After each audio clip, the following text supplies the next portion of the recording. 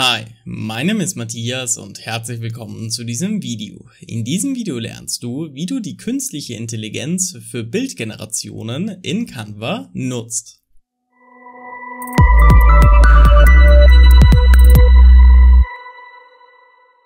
Wie du siehst, befinde ich mich in der Arbeitsoberfläche von Canva. Was genau hier alles zu finden ist und wie du dieses anwendest, erfährst du in anderen Videos. Die Videos sind in der Playlist zu finden.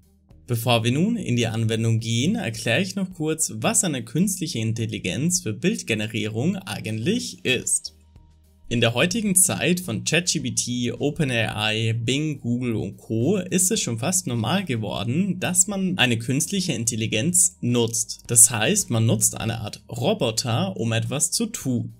Anders als bei ChatGPT bzw. anderen textbasierten künstlichen Intelligenzen kann man mit Canvas künstlicher Intelligenz ein Bild generieren lassen auf Basis eines Textes. Dies ist zu vergleichen mit Midjourney bzw. mit Bing oder sonstiges. Gut, wie machst du das nun? Um dies zu tun, gehst du hier auf der linken Seite im Menü auf Apps und im Anschluss siehst du hier unter Beliebt bzw. unter Erstelle etwas Neues Text zu Bild.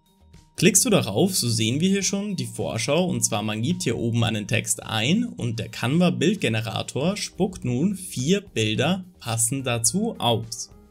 Wir klicken auf Öffnen und nun können wir direkt loslegen. Hier oben haben wir die Eingabemaske, darunter die Stile, in welchen die KI die Bilder generieren soll und darunter das Seitenverhältnis.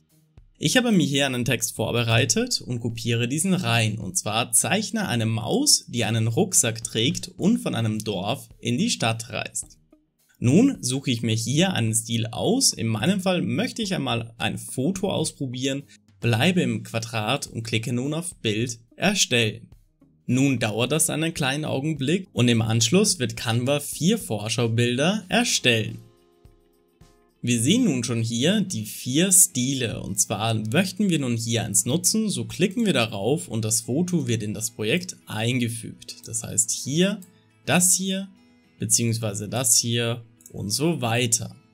Wichtig hierbei zu wissen ist, dass sollte kein passendes dabei sein, du hier deinen Text ändern kannst bzw. deinen Stil ändern kannst oder das Ganze nochmal erstellen kannst.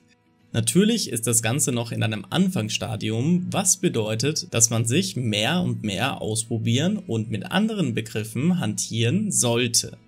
Möchte man komplett neu anfangen, als beispielsweise, dass man hier nicht das Quadrat auswählt, sondern das Hochformat oder Querformat, so kann man hier auf Neu anfangen klicken und hier wieder den Text eingeben. Ebenfalls kann man unter Stile alle ansehen und wir sehen hier nun schon, dass wir eine breite Palette an verschiedenen Stilen haben.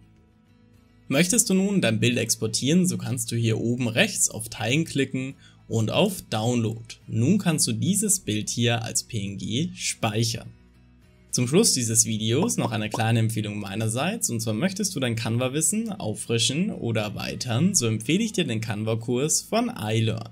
Dort lernst du in aufbauenden Modulen das ganze Wissen rund um das Thema Canva. In jedem der Module bekommst du zahlreiche Downloads in Form von Übungen und sonstigen Hilfsmitteln, welche dir zur freien Verfügung stehen.